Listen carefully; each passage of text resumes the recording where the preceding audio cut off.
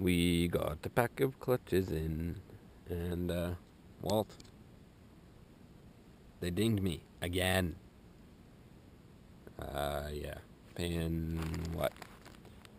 Comes well, it's 250 US, so 328 value Canadian, so 1641 in GST, and then 10 bucks for them to open the thing and put it in a plastic bag and ship it to me.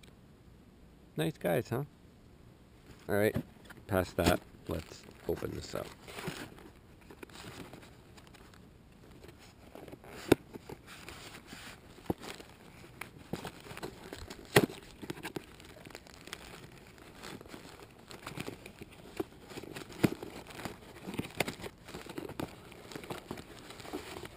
One.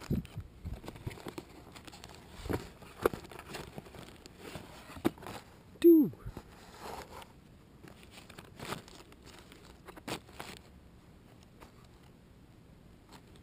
There's second gear. And a set of springs. Thanks. Thank you, sir. This should be Kevlar from Tribco. And looks like they did a nice job.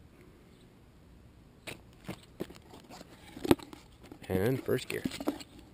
And springs. Very nice, thank you, sir.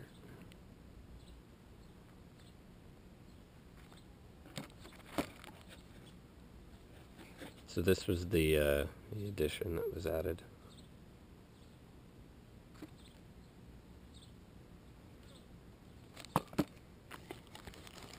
Time to do some uh, testing. We'll get back to you.